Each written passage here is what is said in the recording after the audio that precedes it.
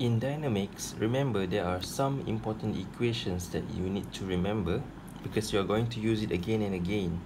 So, um, so this is V, which is the velocity. So we say V equals to ds over dt. So this is the start of everything. Now you have the distance and also you have the time and also you have the velocity. So the next equation will be the acceleration itself. A equals to dv over dt. The next equation is um, the relations involving the displacement, velocity and acceleration along the path. So you have acceleration times the displacement equals the velocity times the differential in velocity. The next equation is the velocity as a function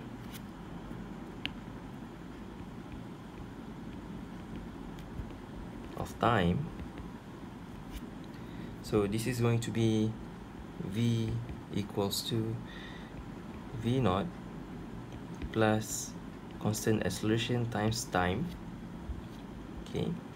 And then uh, position is a function of time.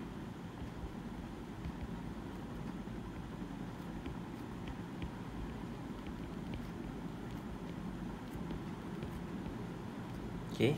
This will be uh, the position. Okay. The position at the current moment equals to the start position plus the starting velocity okay times time and half ACT squared.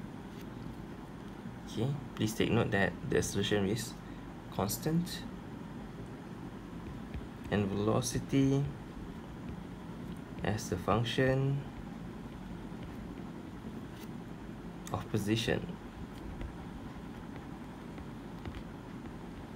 so this will be the current velocity okay v squared equals to the initial velocity plus 2 ac the current position minus the initial position. So these are the equations that you're going to use again and again in dynamics